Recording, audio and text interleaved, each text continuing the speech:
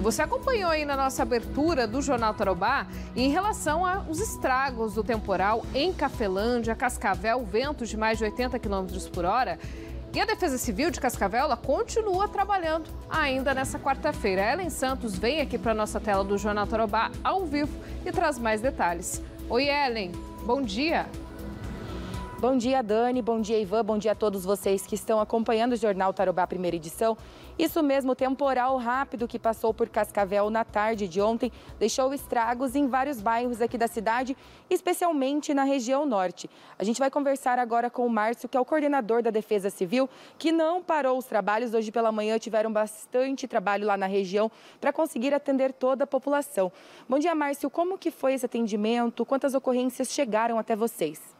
Até o momento, nós tivemos mais de 30 ocorrências. Destaque para duas que ocorreram no, no Brás Madeira, onde duas árvores de grandes proporções caíram sobre a casa. E uma delas nós precisamos, foi preciso interditar fa, os familiares, seis pessoas, três crianças, um idoso, dois adultos, tiveram que passar a noite na casa de um parente. E ontem nós trabalhamos até perto das 11 horas nessa ocorrência, 11 da noite. E hoje, logo pela manhã, a partir das 8 horas, as equipes estavam lá e concluímos agora, perto do meio-dia, a parte mais importante. E à tarde, o setor de podas do meio ambiente vai finalizar esses trabalhos na rua Buriti, para que a família possa retornar para casa hoje à noite. Houve alguns danos materiais na execução da, da desobstrução dos galhos, mas a Defesa Civil vai fornecer as telhas, já deixou a lona. Realizamos a vistoria agora pela manhã, não houve abalos estruturais. Então, concluindo ali a limpeza da árvore que o meio ambiente vai fazer à tarde, o setor de podas, final da noite a família vai poder retornar para casa. E à tarde nós iremos trabalhar na rua Salvador, ali no Braz Madeira também, aonde um outro galho de grande proporção está escorado na casa da, da família. Então a Defesa Civil articulou uma força-tarefa junto com bombeiros, Secretaria de Obras, Secretaria de Meio Ambiente e Transitar. Além das ocorrências cotidianas que ocorrem num temporal, como o destelhamento de telhas, infiltração, alagamento, e daí os, o piso fica escorregadio, a gente sempre orienta a população para tomar cuidado.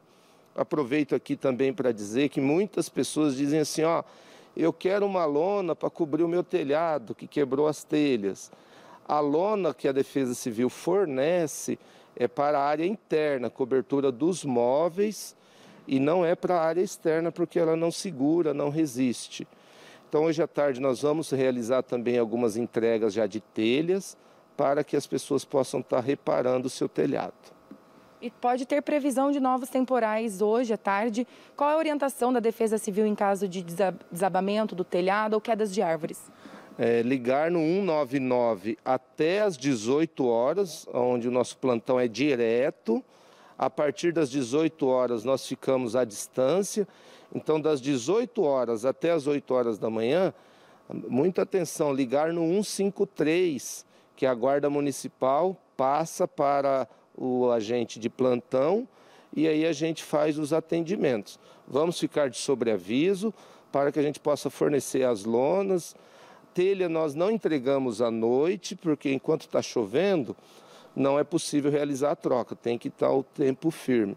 Então as telhas nós vamos entregar hoje à tarde e sempre é, tomar cuidado quando for realizar esse serviço, chamar uma pessoa habilitada, uma pessoa técnica, um pedreiro que possa subir no telhado.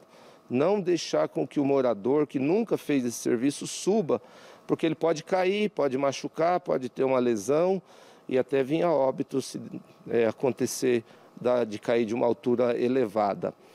Então, liga no 199 e a Defesa Civil vai estar à disposição.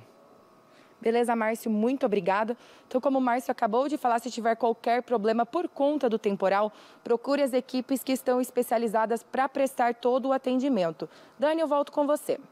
Tá certo, Ellen. Muito obrigada pela sua participação. A gente agradece o Márcio também. As últimas horas foram de bastante trabalho para a Defesa Civil de Cascavel. Então, ainda continua esse alerta para temporais para essa quarta-feira.